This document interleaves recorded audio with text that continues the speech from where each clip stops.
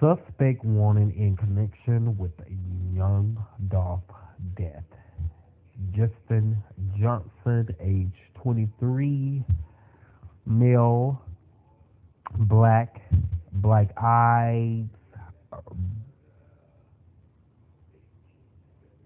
or brown, I guess. No, brown eyes.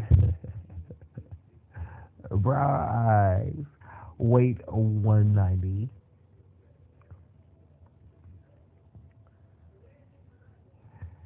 They got a ten thousand to sixty dollar reward. The Memphis Police Department.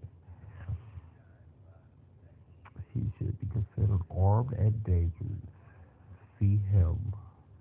Call 901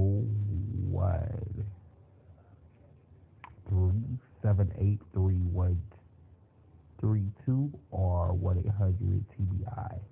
Fine. If you seen him, call that number. Get the bastards who killed the king of rap. It, baby. Want